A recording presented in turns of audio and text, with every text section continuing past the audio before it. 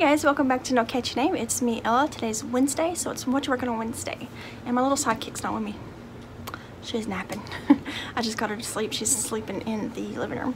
Devin's in there playing guitar and Jesse's in there with him, so I'm taking this moment to record. I started a new project. Should I? Probably not. Because I still got my sweater going and my Halloween uh, thingy. but I wanted to do something that's kind of quick. And also I'm going to enter into my fair. I'm hoping to enter stuff this year. Just a few things because I haven't been, that's not been my, my goal this year because, you know, baby. but there's a few things I'm going to enter. Uh, I'm going to enter my Queen Elizabeth, I believe. Maybe my poison apple for Halloween decoration. Um, my cat pillow that is like a patchwork cat. Hopefully my Christmas blanket is right there. Um, I gotta make sure the ends are in good and then I'm gonna try to line it between now and the last week of August is when I have to enter my projects that week. Um, our fair is the first, of, like second of September through whatever nine days after that is. um, so I'm, I'm, hoping to get some fleece or something for that. That's why it's out. And maybe a couple other things between now and then. But anyways, what I'm working on today is something for the fair. And it's Christmas stocking. I found it on um, YouTube. I just looked up YouTube videos for Christmas stockings and then it does end up, it does have the video tutorial, but it also has a written pattern that's free. And it's by the Turtle Trunk, which I've heard um, things from them before that's pretty good. You know, they got a lot of good patterns.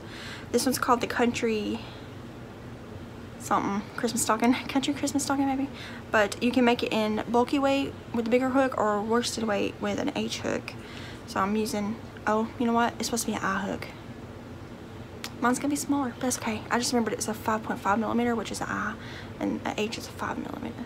But I already started it, so I ain't going back now. but I'm using um, Red Heart Super Saver Aran, big floppy one, and Red Heart Super Saver Cherry Red, another big floppy one. and this is all I got so far, because I just started it a little while ago, before June acted tired.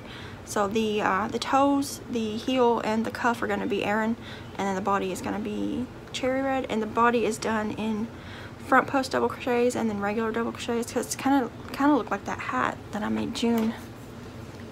It's gonna have the same uh, effect except it's gonna be every it's gonna be um, instead of lines it's gonna be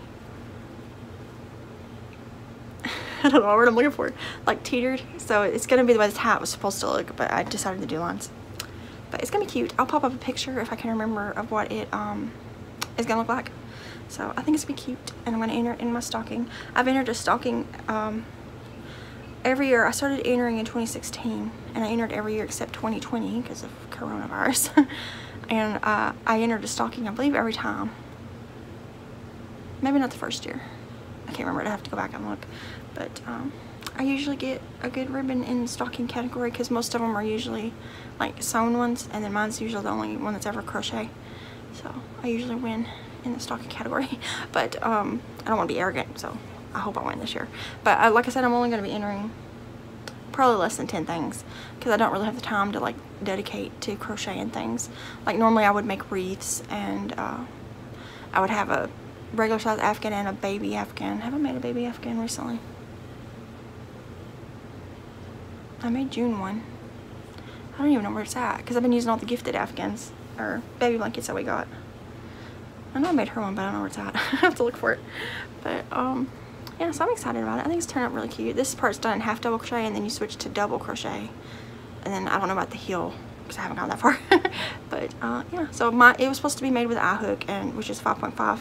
And I started it with an H for whatever reason. But, so mine will be a little bit smaller, probably, than it's supposed to be, but that's okay.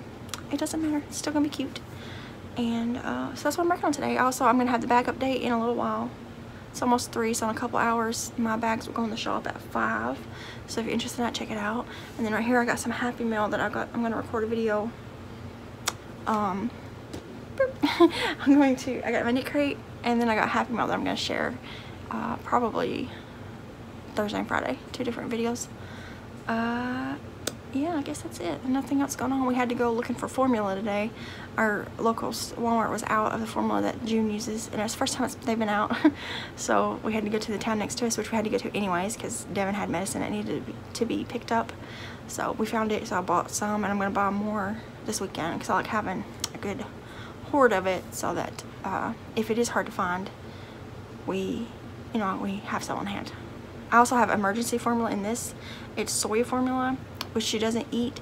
She ate at first and then it started making her real gassy. So I kept a can of it because it doesn't expire for like four years. And also got one bottle of the ready to serve formula, which is liquid, uh, that also expires in like two years. So I just, I kept them instead of donating them to somebody uh, for just in case because of the formula shortages and all that. Uh, it'd be better for her to have some food instead of no food at all. So, but yeah, five more months and she won't need to eat formula anymore because she'll be six months on next Tuesday, the 26th. And then um, at 12 months, when she turns 12 months old, we can switch over to cow's milk. I might actually, I'm going to talk to her pediatrician about maybe doing it at 11 months if the formula shortage is still a thing. Anyways, I am just blabbing now at this point. She's really interested in food, but she doesn't how to set up by herself yet, so I'm not giving her anything. Um, but she watches us eat. We've tried a few baby foods with her, but she just doesn't seem interested in it. So I'm just gonna wait till she can sit up and then I'll start giving her some actual food. but um, she's really interested. She watches us eat everything go to our mouth. That's cute. But I keep telling her, I was like, girl, you gotta work on your muscles. You gotta sit up. Because if you can't, you can't sit up, you can't eat food. But uh, yeah, anyways. Well, I guess that's it. Uh, he being sidetracked. I'm gonna hop off here and get this up and then I'm gonna work on this some more while she's sleeping.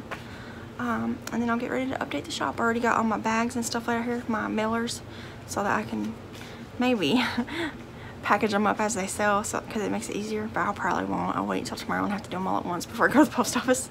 But I already got two of the drawstring bags sold. There. Oh yeah, they're down here in the floor. I got a basket down there with them all in it.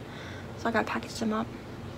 But yeah, I'll worry about it. I'm excited about next month's knit crate. This month's knit crate was um, wool, but next month is cotton. So I'm looking forward to that. And there's a pink one, so I hope I get the pink one. But yeah, I'm gonna go ahead and hop off here and work on this a little bit, and I will see you guys tomorrow. I think I'll do um, maybe the knit crate video tomorrow, and then Friday I'll do the Happy Mail video. Um, yeah, that seems good. I'm gonna hop off here, and I'll see you guys in another video. Bye, guys.